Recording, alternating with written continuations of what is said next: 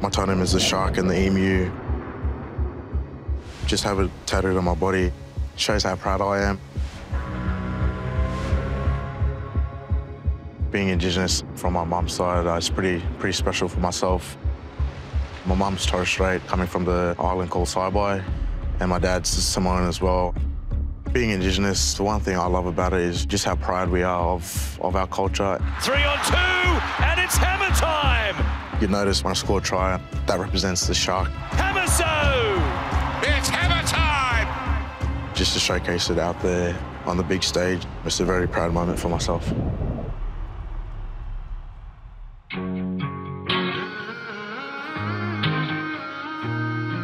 I grew up in Cairns, played rugby league, uh, rugby union and AFL growing up. They were all pretty keen on me at the time. When I was about 15, I moved to Brisbane Grammar on a, on a rugby scholarship, and it was a pretty good school, but I got homesick while I was down there. Moving from Cairns to Brisbane, um, it's a big, big step uh, for myself, being Indigenous, close to family, going to the big city lights, uh, it was pretty, pretty daunting.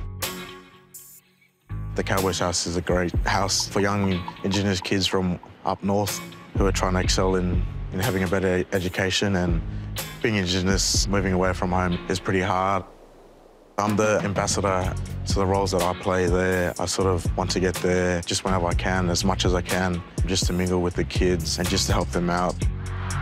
Here is Drinkwater again. He links up with the hammer, who sets sail for the corner. What a speedster he is!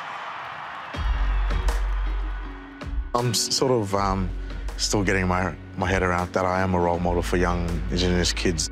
It just gives me a confidence boost in um, to be a better person, be a better player. Granville comes back to Townsend. Pressure on Nickel Klugster. Tabuai Fidow ends up with it, runs away and scores! Just being in this professional environment, there is a lot of pressure. It sort of can, can hurt you a bit, but I'd give credit to my parents. They've kept me grounded, kept me humble, just the way they've, they've brought me up. When I first came into first grade, I was probably couldn't get a word out of me on, on the field. But yeah, I am growing and I am learning new stuff every day. And yeah, I'm sort of getting that confidence up to, to speak more. And um, if I give any advice, just if you want to do something in life and you put your mind to it, just work hard because it'll, it'll all fall in place in the end. If you have a dream, chase it and just work hard for it as well.